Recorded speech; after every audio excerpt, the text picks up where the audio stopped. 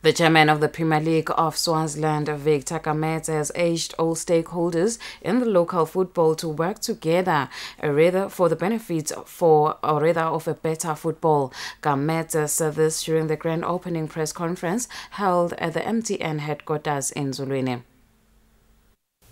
For the 14th season, MTN Swaziland remains the sponsor of the Premier League of Swaziland. This was unpacked by Assam Shongwe, who was representing MTN Swaziland in a press conference ahead of grand opening of the 2016-2017 MTN Premier League, who revealed that the marriage between the two parties has seen a financial growth over the past years. 2002-2003 season siyakhumbula the sponsorship then was only 300,000 emalangeni MTN subsequently crossed the 1 million mark during 2005-2006 uh, season. This past season was sponsored for 3,146,000 to date we have invested close to 19 million and have a balance of 6.3 million left to fulfill in the current sponsorship.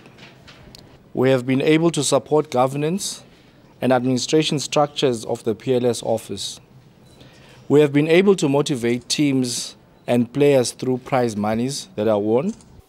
The chairman of the Premier League of Swaziland, Victor Gamedze, thanked MTN for keeping the marriage alive and apologized where his organization misbehaved.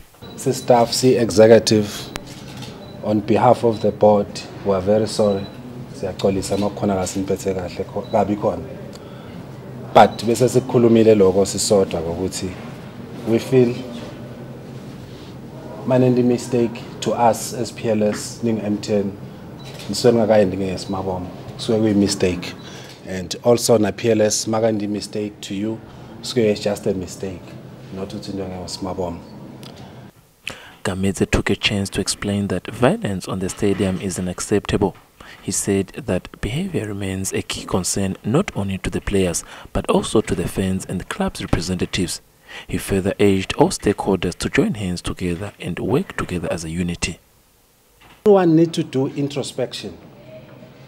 The sponsors, the fans, the referees, the referees, the referees, they need to do introspection. Nabo. The clubs. Because it would be nice the players it would be nice to come up ngalo mthetho lo across the board uye kuma fans uye kuma clubs uye borafela ungakhelwa ungabi tailor made only for teams. Lo mthetho awuhambe across the board. It's high time ukuthi umthetho uhambe across the board. Everyone kufanele ayive indvuku He says the executive committee is in the process of introducing tough rules and regulations and few teams might survive if they do not behave. The PLS boss concluded urging teams representative being pros to toughen up in their duties. For Swazi TV Sports, Fabrice Musonera, Susan Maboza, Zulwini.